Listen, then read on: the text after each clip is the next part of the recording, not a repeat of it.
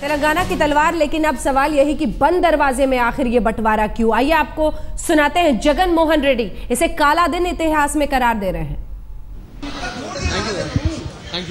Today is a black day in the history of this country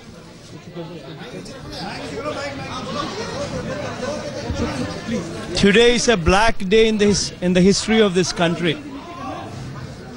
today we have seen with our own eyes how democracy could be killed in broad daylight. The TV channels were shut off. The Lok Sabha live telecast was cut off. The doors were closed. People who were to represent the interests of Seemandhra were suspended.